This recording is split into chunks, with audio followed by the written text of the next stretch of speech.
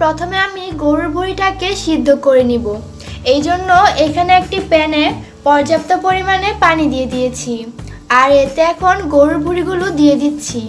গরুর ভুঁড়িটা আমি আগে থেকে ভালো করে পরিষ্কার করে নিয়েছি। এখন একটু পানির সাথে নেড়ে চেড়ে দিচ্ছি। আর এতে দিয়ে দিব হলুদের ফাঁকি। আমি এখানে ওয়ান স্পুন পরিমাণ হলুদের ফাঁকি দিয়ে দিচ্ছি। এখন দিয়ে দিব ওয়ান স্পুন পরিমাণ আদা রসুনের পেস্ট এখন হলুদ আর আদা রসুনটা ভুড়ির সাথে ভালো করে মিশিয়ে নিচ্ছি।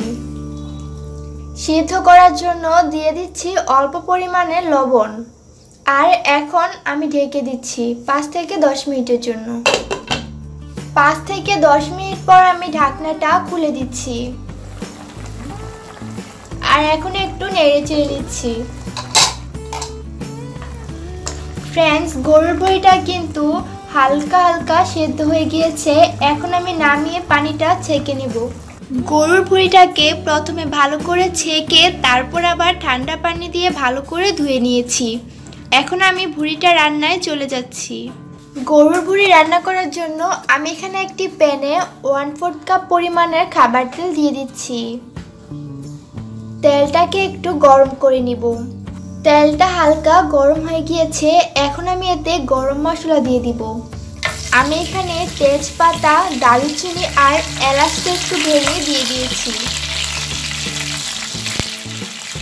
গরম মশলাগুলোকে একটু ভেজে নিচ্ছি। গরম মশলাটা হালকা ভাজার পর আমি এতে এক কাপ পরিমাণের মতো পেঁয়াজের কুচি দিয়ে দিব। পেঁয়াজটাকে একটু ব্রাউন কালার করে ভেজে নিব। আমি এখানে এক কেজির মতো ভুড়ি রান্না করব, তাই এখানে এক কাপের মতো পেঁয়াজ দিয়েছি। আপনারা কেজিতে এক কাপ পেঁয়াজ ব্যবহার করবেন। পেঁয়াজের কালারটা হালকা ব্রাউন হয়ে যাওয়ার পর আমি এতে দুই টেবিল চামচ পরিমাণের মতো আদা রসুনের পেস্ট দিয়ে দিব। আর দিয়ে দিব হাফ টেবিল স্পুন পরিমাণের মতো হলুদের পাখি দিয়ে দিব এক টেবিল স্পুন পরিমাণের মতো মরিচের ফাঁকি আপনারা যদি ঝালের পরিমাণ বেশি খেতে চান, তাহলে মরিচের ফাঁকির পরিমাণটা বাড়িয়ে দিতে পারেন। এখন পেঁয়াজের সাথে ভালো করে মশলাগুলো মিশিয়ে নিচ্ছি। আর দিয়ে দিব হাফ টেবিল স্পুন পরিমাণের মতো ধনিয়া ফাঁকি পেঁয়াজের সাথে সবগুলো মশলা ভালো করে মিশিয়ে নিচ্ছি।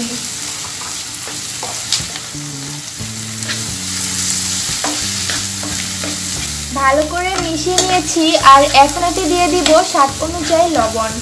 লবণের পরিমাণটা একটু বুঝে দিবেন, কারণ সেদ্ধর সময়ও লবণ ব্যবহার করেছিলাম।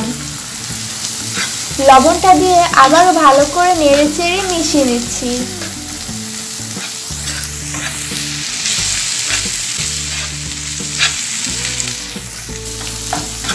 মশলাগুলো কষানোর জন্য আমি এখন এতে ওয়ান ফোর্থ কাপ পরিমাণের মতো পানি দিয়ে দিব।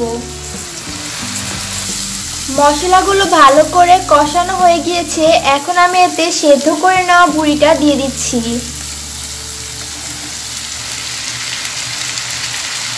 আর মশলার সাথে ভালো করে একটু মিশিয়ে নিচ্ছি।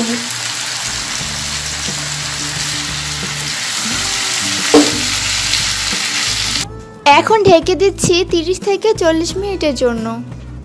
তিরিশ থেকে চল্লিশ মিনিট পর আমি ঢাকনাটা খুলে দিচ্ছি।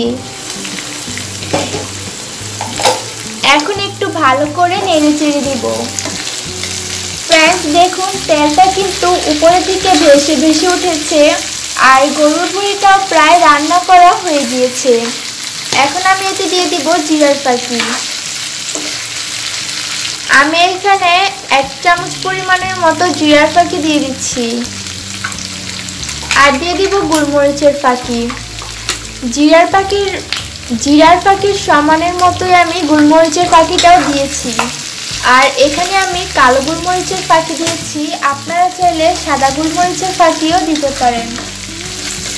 জিরার পাখি আর গোলমরিচের পাখিটা ভুড়ির সাথে ভালো করে মিশিয়ে নিতে হবে। ভুড়িটা কিন্তু পুরোপুরি সেদ্ধ হয়ে গিয়েছে। দেখুন কত সুন্দর একটা কালার আসছে। আমি ভুড়িটাকে ভালো করে নেড়ে চেড়ে ভাজা ভাজা করে নেব, যাতে করে আরও ভালো একটা কালার আসে। আর ভুড়িটাকে আমি একটু ডার্ক কালার করে ভাজা ভাজা করে নেব।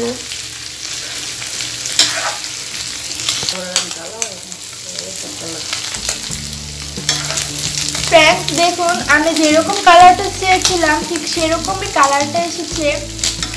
অনেক ডার্ক কালার করেছি আর ভাজা ভাজা করেছি।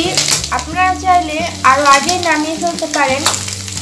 তো আমি আর ডার্ক করব না, এখন নামিয়ে পরিবেশন করে নিব। তো পরিবেশন করার পর কেমন হয়, চলুন দেখে নেই। তৈরি হয়ে গেল গরুর ভুড়ি রান্না। দেখুন, দেখতে কতটা সুন্দর লাগছে আর কালারটাও কতটা ভালো এসেছে।